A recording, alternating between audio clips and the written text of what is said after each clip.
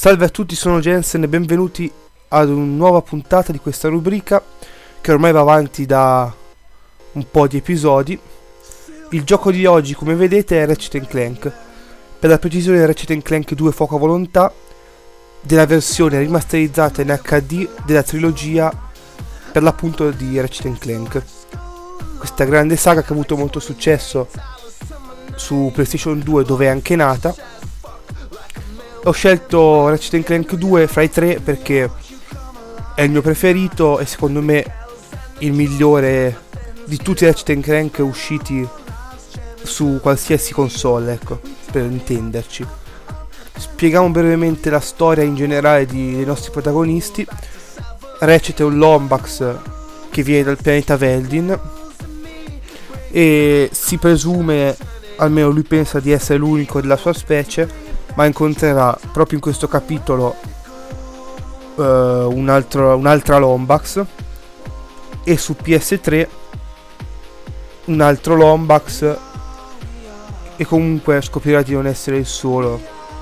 Clank invece è il figlio del costruttore del grande orologio che tramite un, un errore di fabbrica mentre era in corso la fabbricazione di vari robot in serie, viene fuori questo Clank. I due si incontrano su Veldin mentre Ratchet è intento a costruire una navetta spaziale.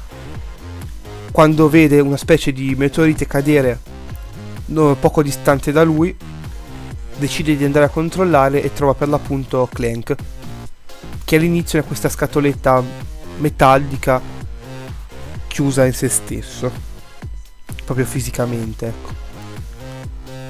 Perché mi piace molto la saga di Ratchet Clank? Perché ha un alto, un alto tasso di giocabilità e anche su PS2 aveva una grafica veramente ottima, per l'appunto per essere PS, su PS2.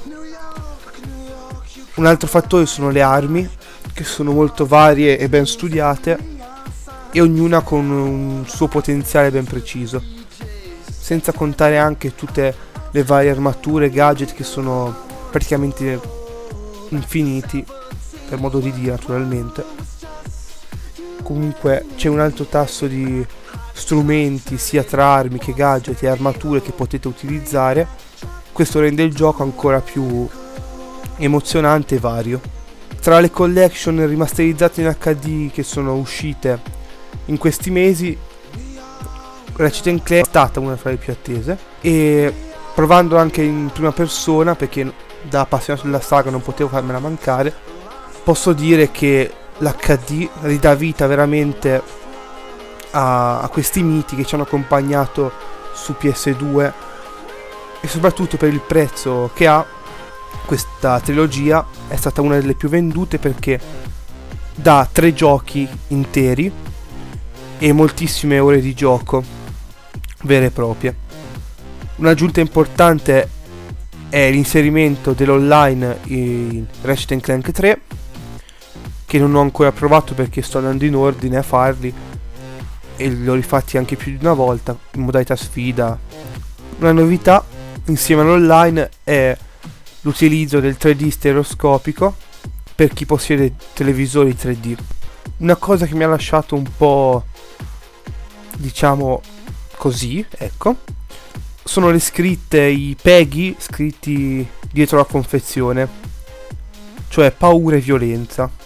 Ora, violenza un pochetto posso capirlo perché comunque vai in giro a sparare raggi laser a dei mostri, degli alieni e a fare pezzi robot.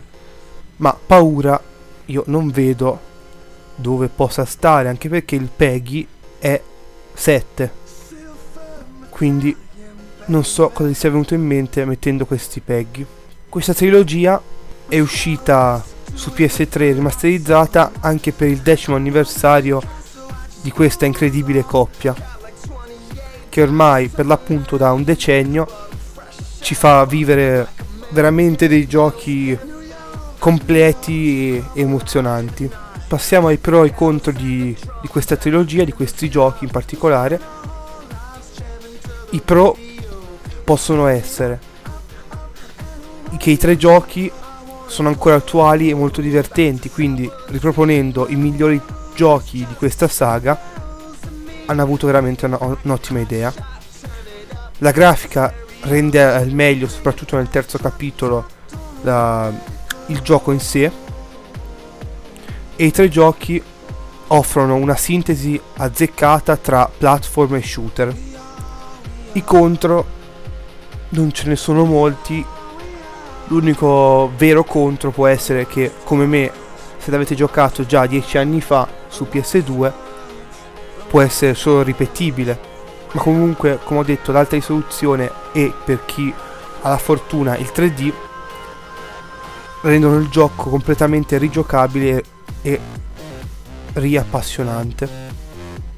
Si può dire riappassionante? Non lo so. Parliamo un attimo dei live che offre YouTube tramite Hangout che non so se avete visto abbiamo già anche provato non live ufficiali per l'appunto delle prove fateci sapere se volete vedere questi live magari anche quante volte a settimana o se avete un giorno preciso noi siamo qui apposta per voi. No principalmente per noi per, per divertirci ma ci siete anche voi dai. Per l'appunto questi live eh, ho visto che si può condividere lo schermo quindi eh, non supporta Portal 2 che sto giocando. O meglio lo supporta ma c'è un lag veramente alto. Ma invece supporta bene Minecraft quindi ho pensato di iniziare una sopravvivenza eh, nella 1.3.2 appunto in live ok il video è, finisce qui ringrazio l'Insomniac per aver riproposto questa trilogia soprattutto a, a un prezzo relativamente basso. E che dirvi, ci vediamo alla prossima puntata di quel che passa il convento.